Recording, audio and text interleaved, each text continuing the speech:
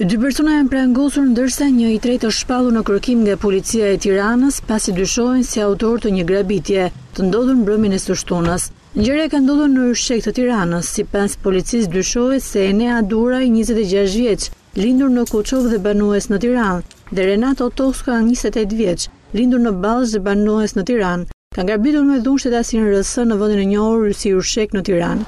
Ata i kanë marrë një sasi monetare dhe disa sende si diamante dhe florinj, të cilat ky shtetas i mbante në çantë. Por agresorët nuk janë mjaftuar me kaq. Ata kanë vijuar të kërcënojnë këtë shtetas duke i vendosur dhe një gjobë prej dhjetë mijë eurosh. Forcat operacionale kanë ndërhyrë në momentin e dorëzimit të kësaj shume monetare, duke arrestuar Enea Durajn dhe Renato Toskën, ndërsa është shpallur në kërkim shtetasi EH.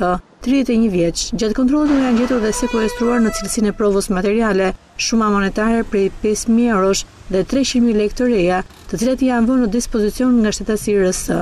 Materialet proceduriale iu kaluan Prokurorisë së Rrethit Gjyqësor Tiranë, për veprën penale Vjedhje me dhunë e kryer në bashkëpunim dhe shtrëngim me anë të kanosjes ose dhunë për dhënien e pasurisë.